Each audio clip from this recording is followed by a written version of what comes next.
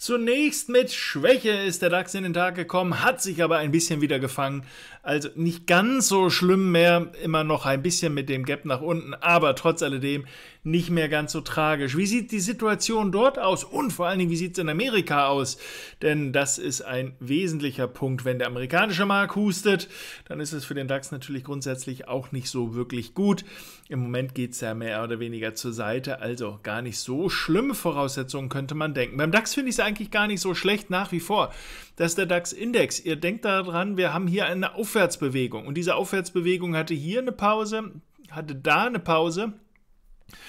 Dann etwas, wo ich sage, das könnte durchaus etwas wie ein Ending Diagonal sein, also so dieses Auslaufen der Bewegung. Ich fände es sehr schön, wenn es jetzt so aussehen würde. Ich weiß, viele finden das total doof, wenn er hier nochmal runterkommt, aber das wäre gar kein Makel unbedingt, denn ein Rücksetzer, ein klassischer Rücksetzer in die, so diese Bereiche hier, hm, wäre ja sowieso etwas, was wir als eine normale Korrektur interpretieren als Marktbewegung und jawohl, er hat interpretieren gesagt, wir wissen es natürlich nicht, aber klassischerweise wäre eine Bewegung dieser Art eine Korrektur, die dann, wenn wir dann die Zwischenhochs reißen, ebenfalls für die bullische Seite, also für die Long-Seite nochmal sprechen würden. Es sieht also nicht mal so schlecht aus, auch mit dem aktuellen Rücksetzer.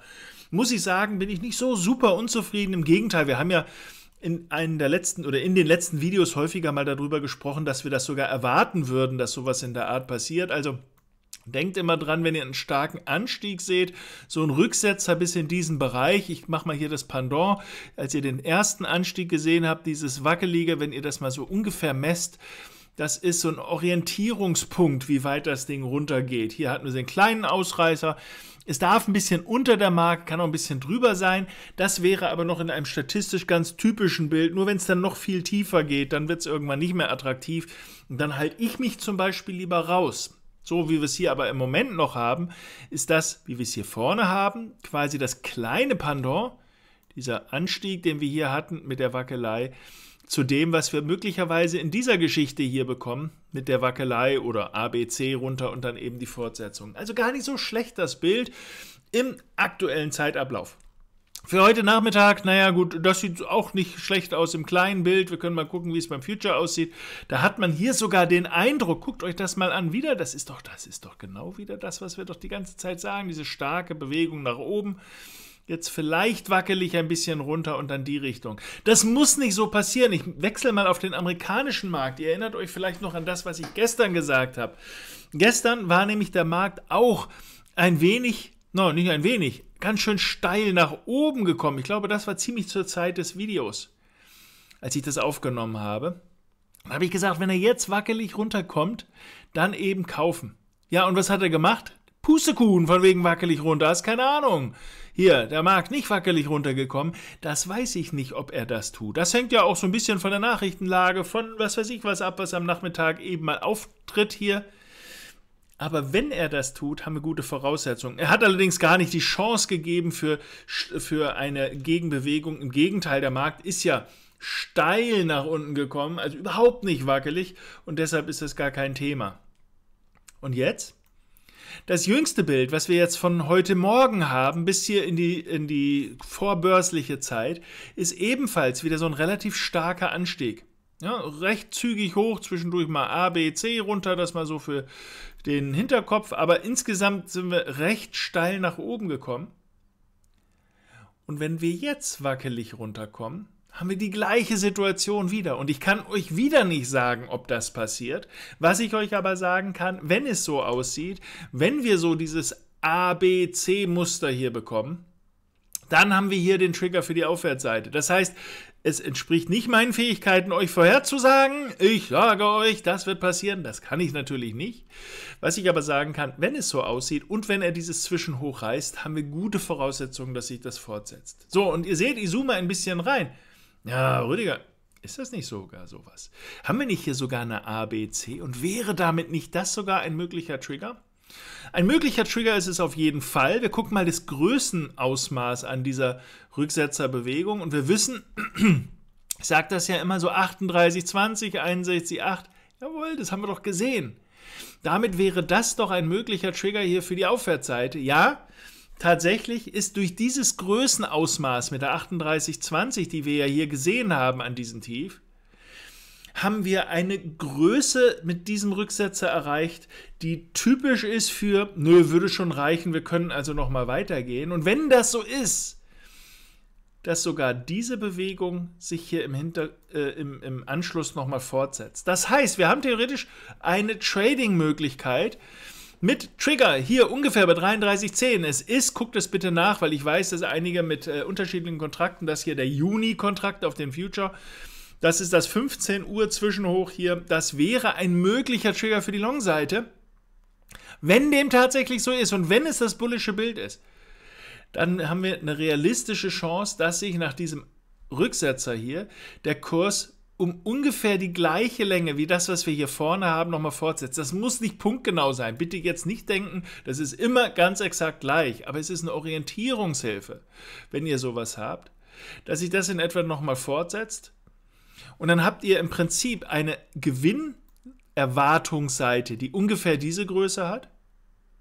Und wenn wir hier triggern, dann sollte er ja die Tiefs nicht mehr reißen. Das heißt, eine Stop-Seite, die so groß ist. Und ich kann euch jetzt schon sagen, ich kann euch nicht garantieren, ob das so ausgeht.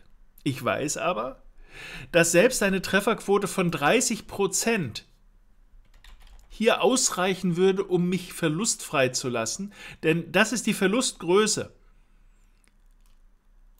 Und wenn ich zwei Verluste habe und einen Gewinn, habe ich immer noch zugegeben diesen minimalen, aber diesen Überschuss. Das heißt, den würde ich noch als Gewinn haben, wenn ich nur eine Trefferquote von 30% habe.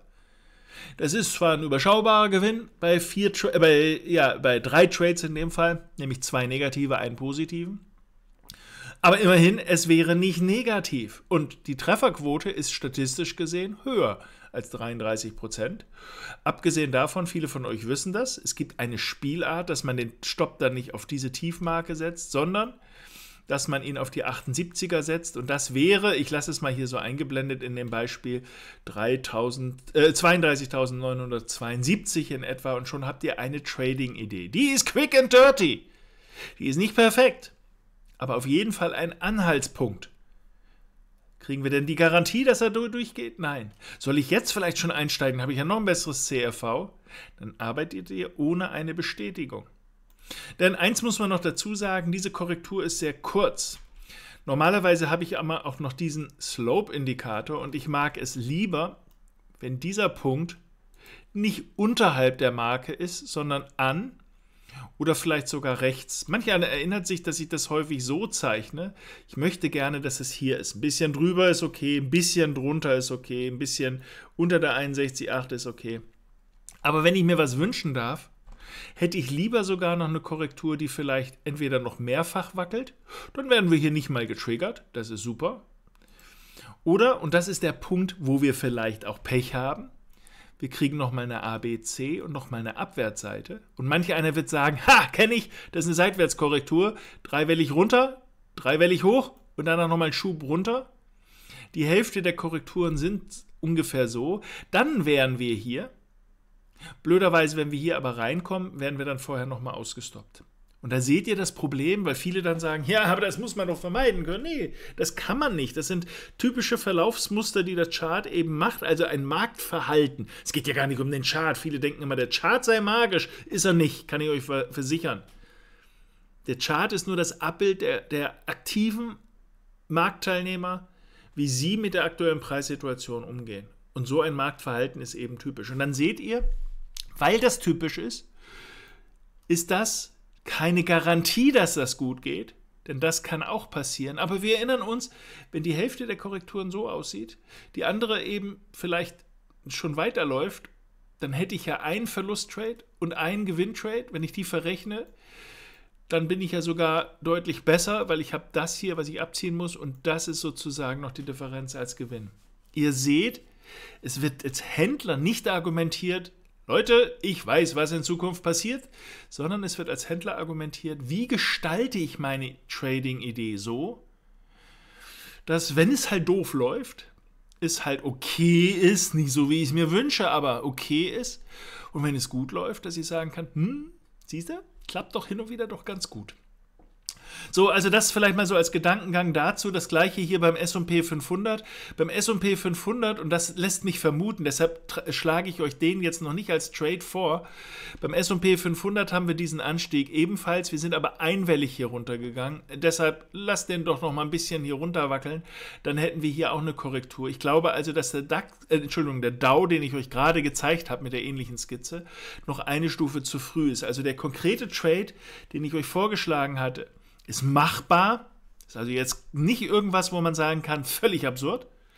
Aber es ist nicht mein Lieblingsszenario, weil der im Moment noch nicht so ist. Und ich sage mal, wenn die jetzt ähnlich sind, finde ich das immer schöner. Und Nasdaq quasi genauso. Also den Anstieg finde ich erstmal ganz okay, aber mein Wunsch wäre, dass wir dieses ABC noch bekommen.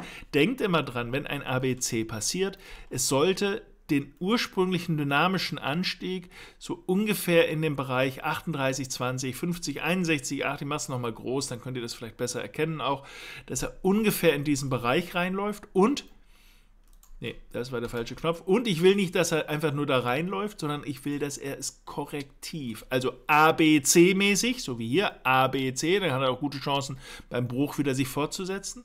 Oder mindestens wackelig, dass man sagen kann, es ist nicht die Hauptrichtung, das ist ein Anstieg, es ist nicht die Hauptrichtung, das war die starke, also setzt es sich nochmal fort in irgendeiner Form.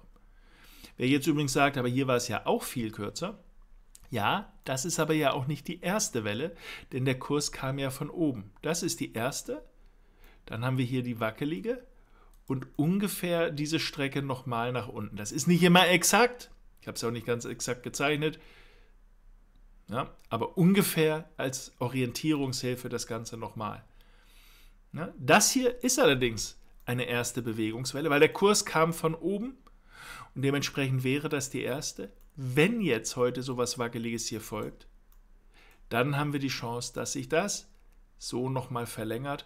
Beim Bruch der Marke wäre der entsprechende Einstieg.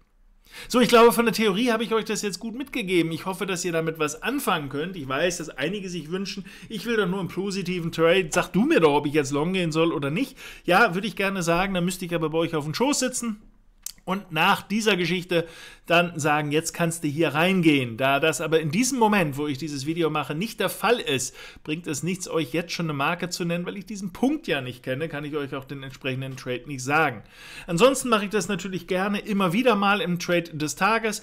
Ich mache es auch immer wieder gerne im Born for Trading. Wenn ihr also Lust darauf habt, dann meldet euch für die entsprechenden Stellen ab. An, ab ist gut, erstmal anmelden und dann kriegt ihr von mir immer wieder konkrete Trading-Ideen und Vorschläge, wo und wie man da entsprechend reingehen kann mit den konkreten Marken. Dann zu der Zeit, wo es gerade akut ist und nicht so wie jetzt diese Videos zu einer relativ fixen Zeit. Und dann müssen wir mal gucken, was der Markt aktuell macht. In diesem Sinne euch alles Gute, liebe Grüße und bis zum nächsten Mal.